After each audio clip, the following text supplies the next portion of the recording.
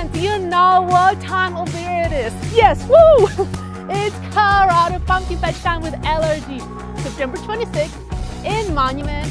11 to 4 It's to be a fantastic time and check out this preview.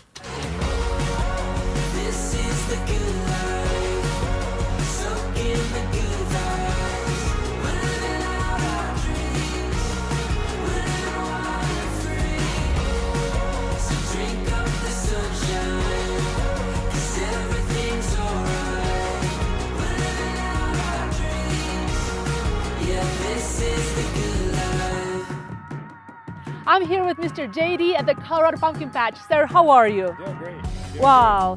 Thank you so much for having us actually third year in a row. Yeah, it's pretty exciting to have you guys back. We've got some new things for you.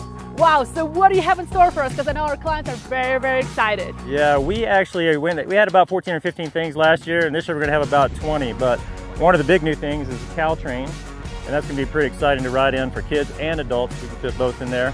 And we have a, uh, a new photo op with the Graham Brother truck from 1928.